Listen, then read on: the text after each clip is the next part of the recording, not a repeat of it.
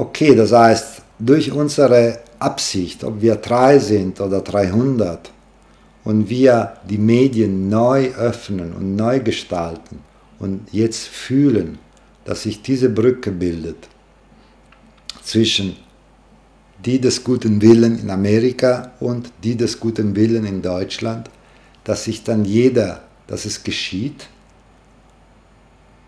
und äh, dass jeder es spürt, dass jeder sich gestärkt fühlt und dass es nach drei, vier Tagen schon äh, Resultate gibt. Das war immer meine Erfahrung.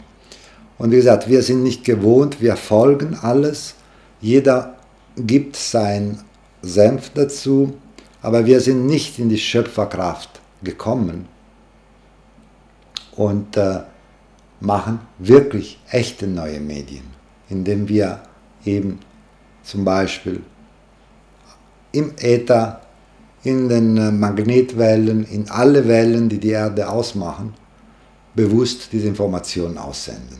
Wir wissen, dass negative Energien, da wo ein Krieg ist, fühlt man sich nicht gut, das spürt man in der Luft.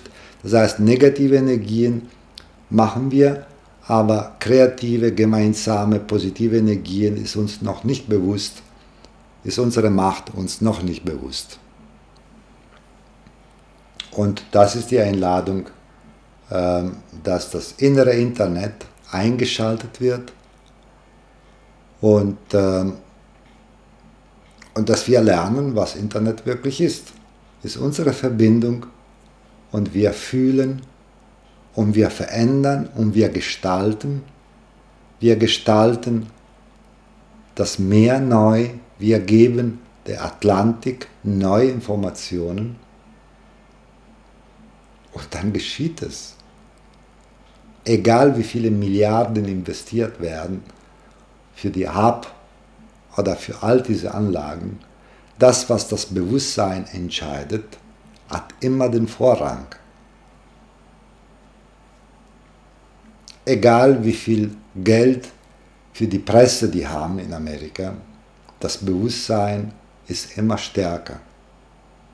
Und wenn uns das klar wird, dass wir auf dieser Ebene etwas verändern können, dann, äh, ja, dann haben wir das eigentliche echte Internet. Okay, für alle, die dazu gekommen sind, aktiv haben wir gesehen, äh, wir haben gestärkt die amerikanische Seele von allen Menschen des guten Willen, damit die Kinder wieder nach Hause gehen und fürs Glück des Landes sorgen.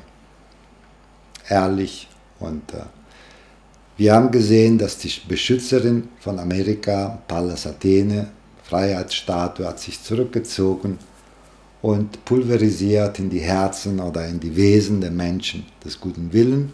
Wir haben eine Brücke gebaut, jetzt nach Deutschland, damit dieser Informationsaustausch geschieht zwischen, damit wir uns auch unterstützen, die Menschen des guten Willen, die Kreativen, die Schöpfer, die Liebenden von Amerika und die Liebenden von Deutschland. So, jetzt würde ich gehen, wenn du Impulse hast, sehr, sehr, sehr gerne. Ich würde jetzt in äh, den Atlantik gehen. Was können wir für den Atlantik machen? Das heißt, Wasser ist immer das weibliche Element. Wasser ist viel wichtiger, was zwischen Amerika und Europa ist, ist viel wichtiger das Wasser als Amerika und Europa. Warum?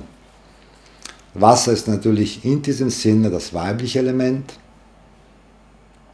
und äh, wir können das Wasser, den Atlantik, so programmieren. Äh, und dazu lade ich jetzt dich ein. Wir programmieren jetzt den Atlantik, dass alle diese negative Informationen von Krieg, Manipulation, Zerstörung, dass der Atlantik sie nicht mehr speichert und löscht und neutral wird, sich entspannt, so dass wenn diese negative Informationen nicht mehr äh, durch den Atlantik übertragen werden, dass das eine Auswirkung hat. So, ich lade euch ein, den Atlantik.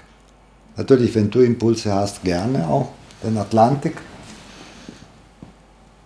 Die Wasser, das Wasser, den Atlantik, die Zellen, die, die, die Moleküle so zu programmieren, dass die neutral werden, dass die sich entspannen und dass ähm,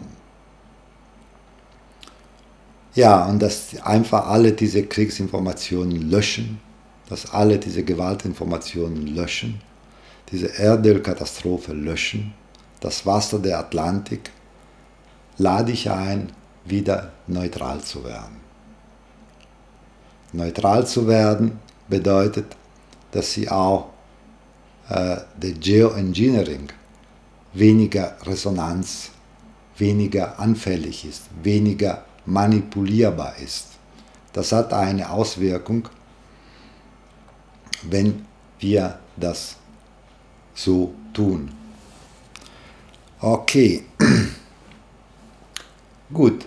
Das heißt, ich lade ein, wer möchte oder später, wenn das in YouTube sieht, jetzt Impulse zu geben. Wir können das. Bewusstsein ist das, was die Welt regiert. Punkt. Egal, was die Menschen tun was sie denken, welche Waffen, welche Sachen sie einfach auch da rummachen. So, ich lade dich ein, jetzt, äh, wenn das für dich okay ist, den Atlantik in die Neutralität zu programmieren und alle Kriegsinformationen, negative Informationen zu löschen, zu reinigen, zu heilen, damit der Atlantik wieder eine neutrale Zone wird, die diese, die nicht mehr Internet ist, sozusagen Überträger von negativen Informationen. Wenn diese negativen Informationen gelöscht sind, dann werden diese Manipulations- und Kriegshandlungen irgendwie schwächer. Die werden weniger ankommen. Die werden ähm, entspannter sein. Die irgendwie, die Drohungen werden verschwinden oder werden weniger gehört, werden weniger ankommen.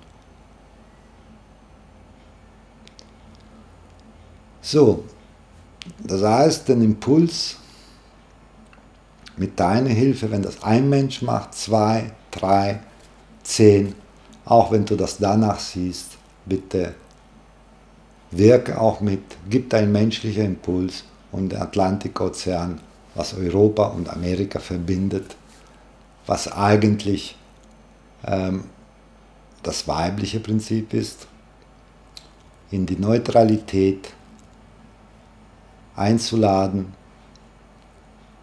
und äh, das wird eine Auswirkung haben, so dass beide Länder ähm, werden weniger verbunden sein sich weniger verbinden können, weil die Neutralität erlaubt immer die Stärkung der nationalen Identitäten, der Wesenheiten, des Wesentlichen, von das, was ist. Und äh, in der Neutralität werden natürlich echte, authentische Informationen leichter zu übertragen sein als wenn, weil die Negative somit ausgeschaltet werden. Ich weiß nicht, inwieweit das wirkt, oder beziehungsweise ich weiß es schon, aber ist mir egal, ob es stimmt oder nicht stimmt. Ich weiß, dass jeder negative Impuls kommt und jeder positive auch, wenn man das positiv und negativ nennen kann. Okay, ich klicke jetzt mit, mit der Luft können wir nicht viel machen. Im Moment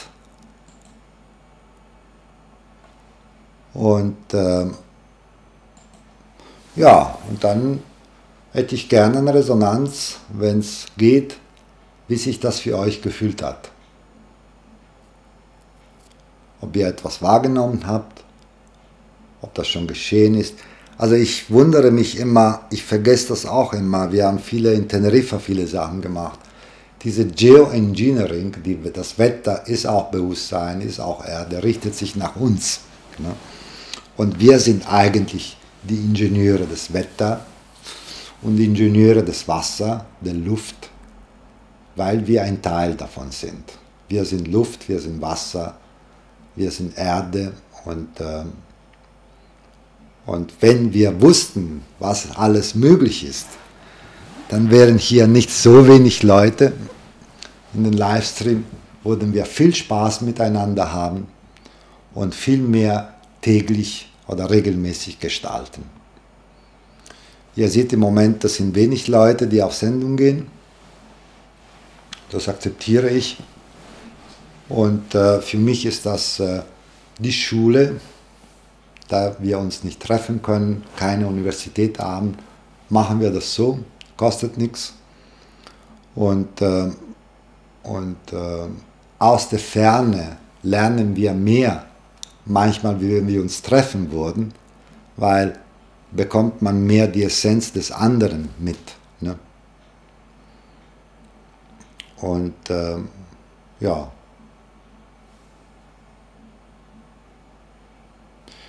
Ja, habt ihr was wahrgenommen? Habt ihr was zu sagen? Habt ihr. Ja, diese, diese Monologe sind einfach nur für mich der Beginn von gemeinsamen. Ähm, also ich beginne immer. Ich sage immer, dass, äh, dass wenn wir nicht zu viel methodische Sachen machen und konzentrieren, dass wir in der Lage sind, die Ozeane, die Luft, äh, alles zu verändern, was man mit, Chem, mit, mit den Chemtrails auch machen. Wir können das besser. Wir können die Luft hier und da, Stadt für Stadt, wir können damit spielen. Und wir können das verändern. Wir können das transformieren, wir können das aufladen. Nicht nur im Motor, wenn man Liebe auf ein Wasserglas schreibt, aber das Problem ist, dass jeder das ein bisschen individuell liest. Ja, ist richtig, ja, ist okay, aber reelle Sachen wollen in einem Feld gemacht werden. Die funktionieren nicht, wenn das ein Mensch macht.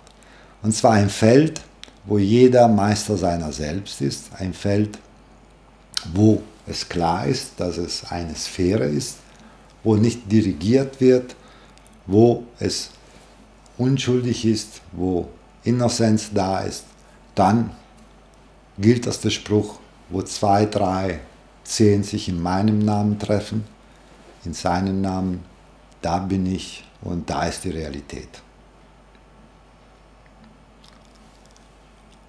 Ja, wie findet ihr das? Ich kann gerne jemand auch über Skype dazu schalten. Kannst du gerne was dazu sagen?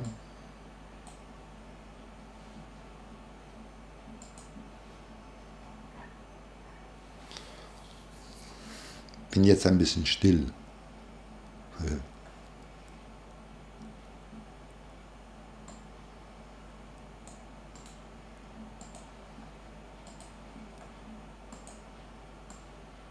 Mal gucken, was passiert, wenn ich still bin. Aha, wow, schön. Oregano, Oregano ist toll. Ich will das Oregano aus Apulien. Es ist, es ist ganz anders als das, was man kauft. Ich möchte einen neuen Shop machen, wo alle diese authentischen Produkte, die die noch schmecken, zusammenkommen, nicht nur Biohäuser. Ich habe gespürt, dass man sich von Trauma selber reinigen muss, um den Atlantik von diesen Informationen zu reinigen.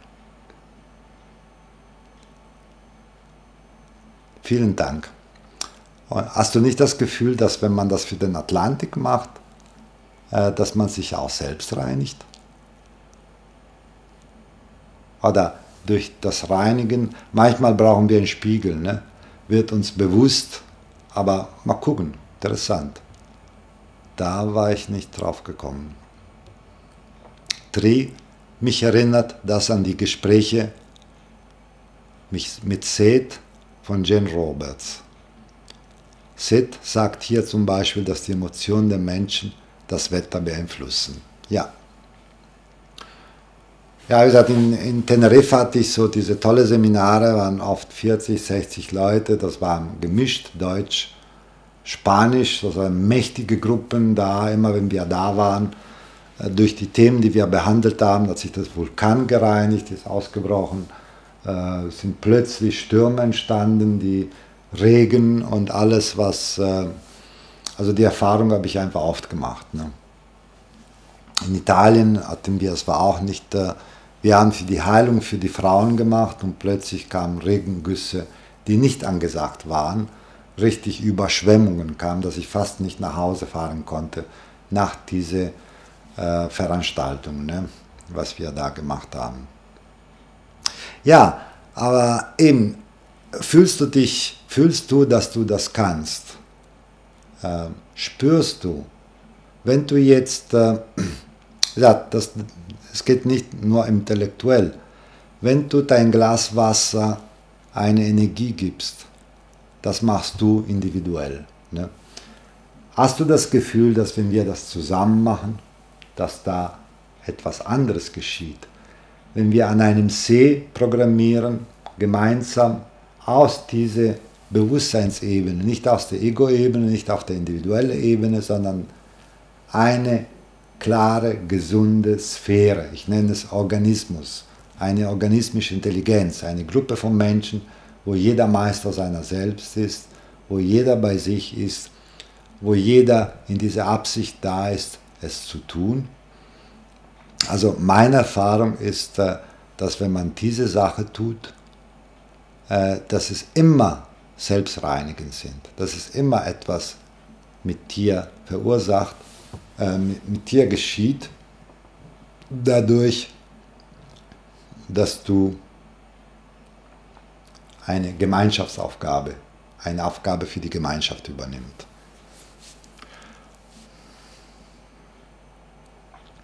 Ja, das wäre schön, wenn das möglich wäre, wenn man den Atlantik reinigt, dass sich dann auch das eigene reinigt. Dankeschön. Ja, also mein Gefühl, da ist meine Erfahrung. Vielleicht spürt ihr, dass da was passiert ist. Es ist was passiert. So, mein Gefühl ist in Atlantik, es ist immer auf irgendeine Ebene. Die Impulse, die du auf Bewusstseinsebene gibst, kommen immer an. Also ich finde, dass es jetzt ein bisschen eine Trennung stattgefunden hat, dass die Müllberge, die Plastikmüllberge oder alles, was äh, sich ein bisschen vom Wasser getrennt haben. Und äh, das heißt, das Wasser hat sich gesammelt, hat sich vom Müll getrennt, hat sich zurückgezogen in sich. Und äh, das ist der erste Schritt, was der Atlantik macht, um, äh, um, äh, ja, um in diese Stille zu kommen. Ne? Und ich glaube schon, dass die nächsten Tage, bitte beobachtet das, äh, dass da vielleicht in den Nachrichten etwas geschehen wird, dass irgendetwas unterbrochen wird in die Kommunikation zwischen äh, den äh, die Dämonen von da und die Dämonen von da unterbrochen wird. Das glaube ich schon. Das heißt, ist für mich schon, ist schon etwas geschehen. Und wenn wir wussten, dass wir diese Möglichkeit haben, also immer, wenn wir das gemacht haben in den letzten 20 Jahren, ist immer was geschehen. Nur ich finde selten Leute, die sagen, ja, so ist es. Oder die, die sagen, ja, machen wir. Ne? Wir machen das. Weil jeder ist oft immer gefangen mit den eigenen individuellen Problemen. Und wenn man aber diesen Sprung macht, sagt, okay, wir gemeinsam, wir reinigen das hier. Wir haben viel für Leipzig gemacht. Ich bin, wohne jetzt hier in Leipzig. Für einige Städte, das hat schon eine Auswirkung gehabt. Ne?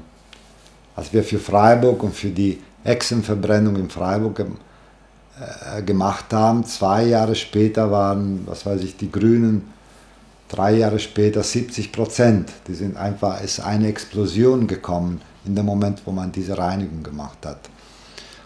Wir haben das in viele Städte, aber eben dann geht es immer alles zurück, schließt sich das alles und die Leute gehen wieder auf diese individuelle ähm, Käfige, was auch okay ist. Ich mache das auch, ist kein Urteil.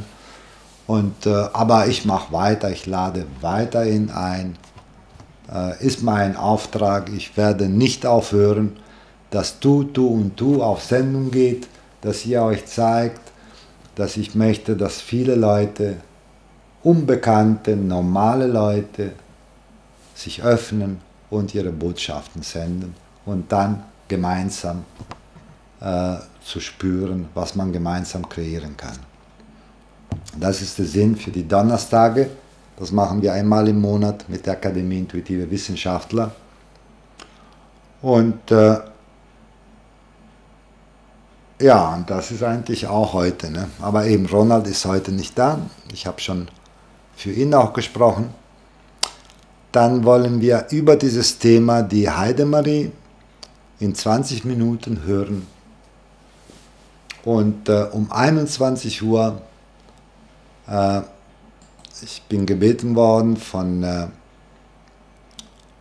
äh, von Thailand, von der thailändischen buddhistischen Organisation, ähm, einen Film zu zeigen, wo ich hätte auch mitwirken können, nur ich, ich habe es nicht geschafft, dahin zu fliegen.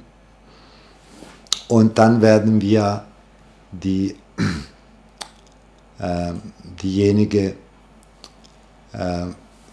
Upasika Elsbeth Maurer interviewen, äh, was da in Thailand, das sind diese Stellen, wo ich glaube 100.000, eine Million Kinder gemeinsam meditieren, wo diese Tempel sind.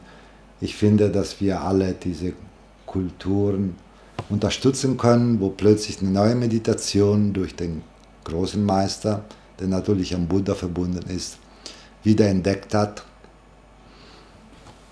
und, äh, ähm, und das Wirken, diese neu entdeckte Meditation ähm, ist, ähm, die 2000 Jahre alt ist, äh, ist wirkungsvoll und wir unterstützen natürlich alles. Okay, ja, dann Dankeschön. Ich lade natürlich ein, wenn ich weiß, äh, dass ihr wollt, äh, so kreative Arbeit, wo wir gemeinsam einmal eine Stadt, einmal ähm, das Wasser, einmal die Luft hier, am besten lokal, damit wir Resonanz bekommen und sehen können, wie das wirkt. So, wir machen das neue, äh, eben zum Beispiel das bewusste, das echte Geoengineering. Dankeschön, in 20 Minuten geht es weiter mit Heidemarie Sasse.